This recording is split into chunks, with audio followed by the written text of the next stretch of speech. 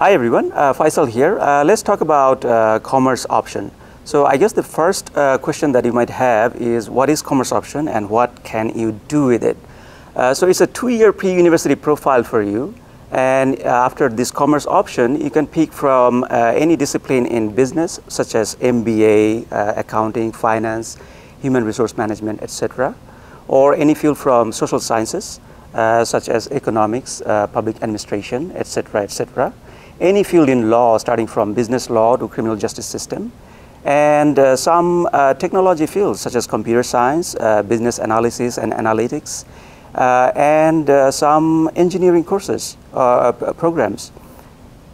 I guess the second question that you might be having is what courses shall you take in this commerce option?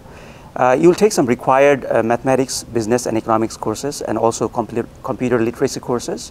Those are required for university admission. Uh, you will also take some optional courses in history, uh, psychology, and other disciplines.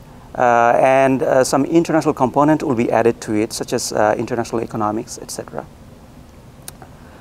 Third question that you might be having is what are the main skills that you will develop in this um, option?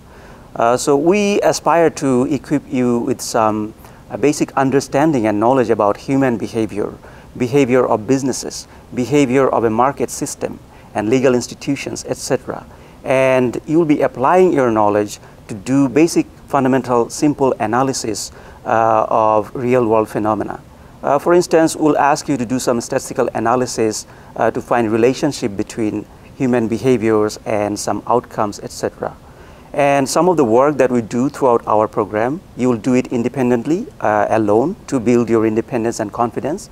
And some of the work that we'll do, you'll be doing in teams to develop your interpersonal skills and uh, team playing skills. So uh, that's uh, all about it, I guess. Um, thank you for listening and stay well. Take care of each other.